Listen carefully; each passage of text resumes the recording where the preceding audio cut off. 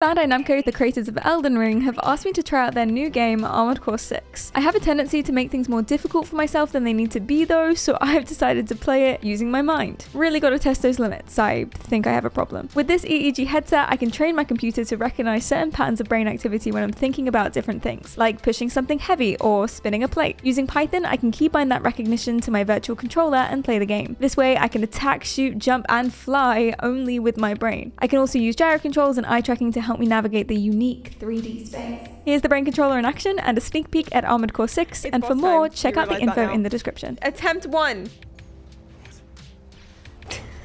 I'm just gonna settle for hitting it. Oh, yes. From Software games require a lot of mental stamina, including having to figure out attack patterns and strategically plan your build. So seeing that live and how it plays out with mind control is fascinating.